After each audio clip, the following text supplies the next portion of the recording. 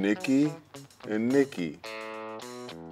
That's so crazy with me going from like my ex and then I meet someone that I really like and her name is Nikki. I'm like, God, are you trying to play like a practical joke on me or something? You know what I'm saying? I know media is gonna have a field day with this. It's not for no TV, it's not for the show because like I don't like to play with my heart like that. I don't got time to be doing stuff just for like some fake buzz. So as far as old and new, you know, when it comes to Miss Nikki baby, I call her Nicole.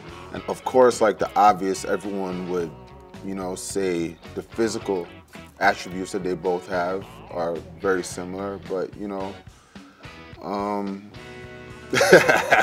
I wouldn't say old Nikki is better at anything though. I'm not even trying to be funny or nothing, but you know, when you with somebody for a long time, after a while, you low-key are just comfortable and you're just in the situation and you're just used to it, so you just stay there.